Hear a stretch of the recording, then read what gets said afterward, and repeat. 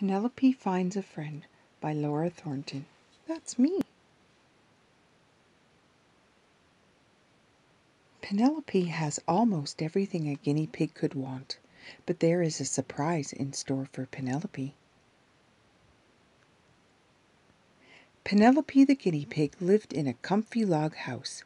She had a big hay pile and fresh water to drink. She had treats and toys and sunshine. I know I should feel happy, but I feel lonely. I wish I could find a friend.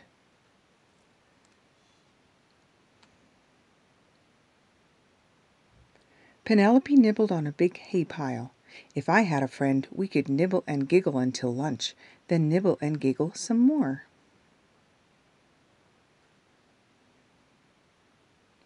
Penelope nibbled on fruit and vegetables for lunch. If I had a friend, we could share my big feast. Penelope sat in her tunnel. If I had a friend, we could run and play all day.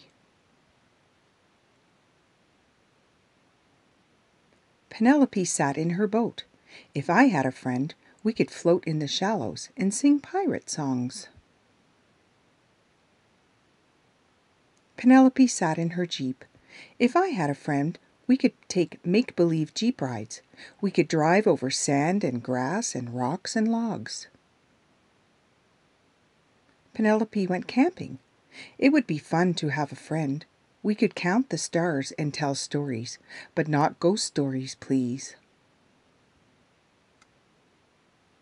One day Penelope woke up from her nap. She could not believe her eyes. Another guinea pig was smiling back at her. Hello, my name is Buffy. Would you like to be my friend?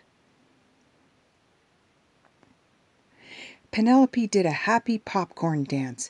Yes, I would very much like to be your friend.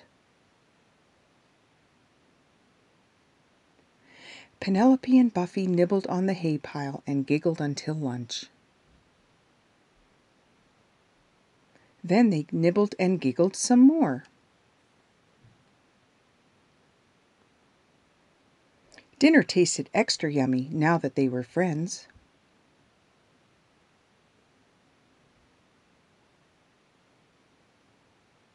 I like your tent, said Buffy. Do you think we will both fit? There is always room for my friend, answered Penelope.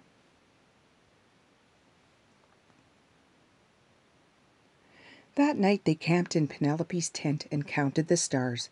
They told stories, but not ghost stories.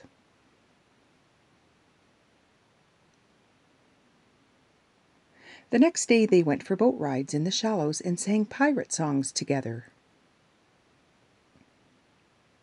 Yo ho, yo ho, a pirate's life for me. They took a make believe jeep ride and drove over sand and grass and rocks and logs. Suddenly, the jeep had a make believe flat tire. Penelope fixed it while Buffy checked the brakes. Then they were back on the trails. When it was bedtime, Penelope and Buffy got comfy and talked about their fun day. I'm glad you are my friend, said Buffy. Me too, answered Penelope. Then they both drifted off to sleep, dreaming of tomorrow's adventures.